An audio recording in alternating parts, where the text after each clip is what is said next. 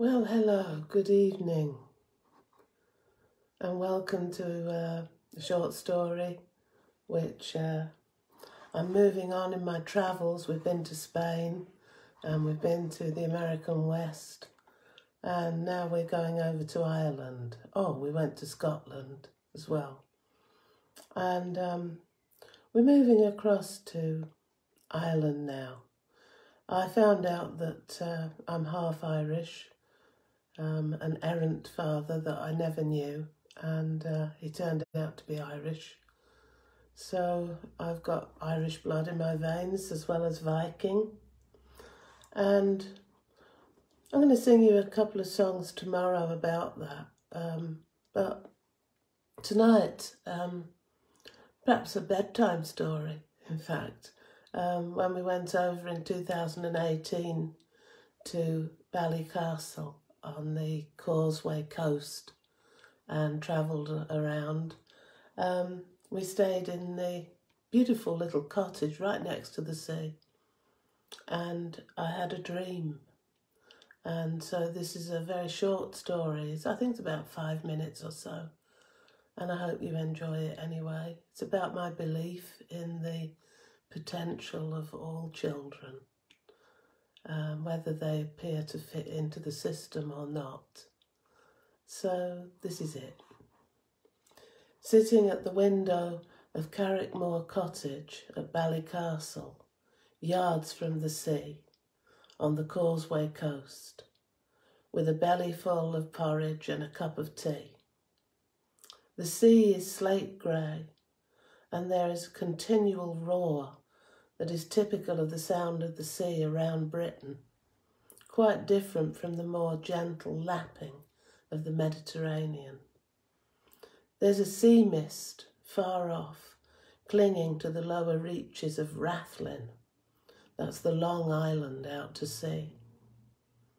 I had a lovely, comfortable night in smooth, soft, white bed linen with a checkered woolly blanket thrown over us. I awoke refreshed, and yet, and yet, I had memories of puzzling dreams. Time is suspended or different in dreamland, and I have no idea of the length of this labyrinthine slumbering, but I remember the boy. The Irish boy with the dark hair and the blue eyes a face defiant yet frustrated, full of vibrant life and yet with sadness.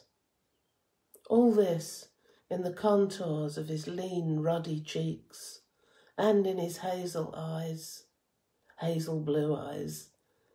His body was wiry and he could run like the wind. But already his young life was telling him not to trust anyone, not to be soft, even though his heart ached to do both. I watched his teacher get frustrated with him as he showed every sign of being completely immune to any understanding of mathematics. But it was deeper.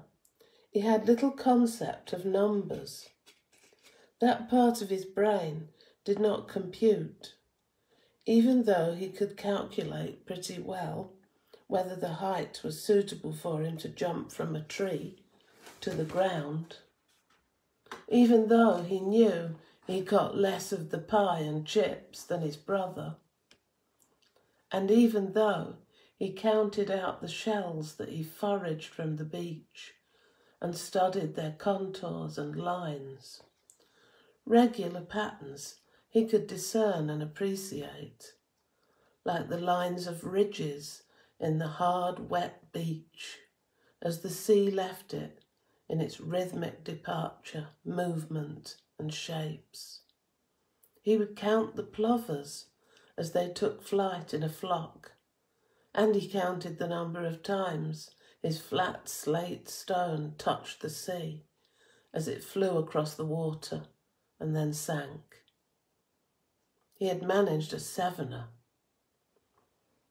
But here in school, faced with an irate maths teacher and a bank of numbers, his mind was blank. Instructions fell on his ears without penetration. His English teacher would have found this absolutely baffling, as she knew him to be a gifted writer with an innate understanding of the psychology of characters, such as Iago in Othello, which they were studying in English literature. I was suddenly sitting with the boy in an effortless shift of scene which can happen in our dreams. And I felt a great desire to help the boy with his blind spot. I know just how you are because I was exactly the same at school, I said to him. Don't let this make you doubt yourself or develop a hatred of science and maths, for you will find they are the secrets of the universe, along with language, music, and the arts, arts of all kinds. You already calculate angles and patterns and all kinds of maths every time you climb a tree or go down to the sea or ride your bike or jump across the shoreland rocks. You just need to get used to numbers. One, two, three, four, five, six, seven to start with. Let's get some pebbles and we can work on it together, and I will help you to let your fear go so that your intelligence will blossom in all fields of your endeavour. The boy was quite difficult because even now he had a pride, a defiance, and a wildness which I deeply admired and I spent time with him, for I felt his soul and I honoured it. While I've been writing, Rathlin Island has completely disappeared in the sea mist. The gulls fly lazily, and the shades of blue grey are filled with life and constant change. Yeah, that was. Um, I don't know if you've had that experience when you wake up and, and you can remember the whole thing, and it's just, I just wrote it down, you know, from the dream. And it was similar with the song that I wrote. And it's again about having faith and belief in, in a child. And my name is actually Kathleen, and for some reason, this again, I woke up and this was more or less a fully formed song, which I just had to write down. It has a chorus and uh, a nice uh, good night song. It's called Kathleen, and the chorus is Ah, Kathleen, be good while I'm singing. Kathleen, be good for your ma. Kathleen, be good while I'm singing, and I'll show you a shooting star. I'll just get the note.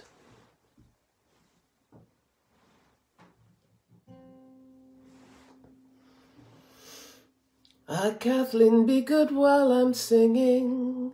Kathleen, be good for your ma. Kathleen, be good while I'm singing. And I'll show you a shooting star. You're only a little one, sure enough. Your clothes are all hand-me-downs, descended from gypsies with moon in your eyes. The music within you's a beautiful sound. Chorus. Ah, Kathleen, be good while I'm singing. Kathleen, be good for your ma. Kathleen, be good while I'm singing and I'll show you a shooting star. Your curls are like springs of fiery red. your sturdy pattering feet.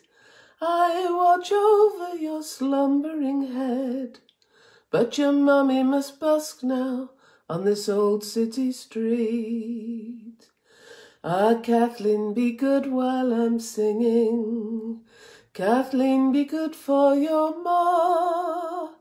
Kathleen, be good while I'm singing, and I'll show you a shooting star.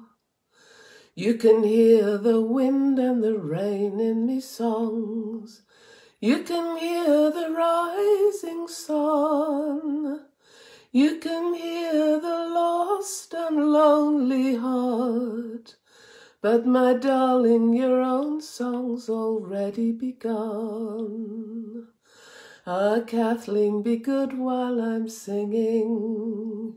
Kathleen, be good for your ma. Kathleen, be good while I'm singing and I'll show you a shooting star. Last time, join in with me.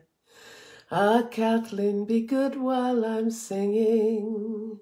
Kathleen, be good for your ma. Kathleen, be good while I'm singing. And I'll show you a shooting star.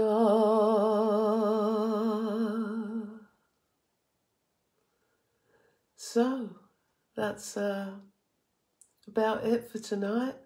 And tomorrow I will return with some more tales from Ireland and some songs that I wrote about Ireland. Okay, then. Have a good night. Night, night. See you later.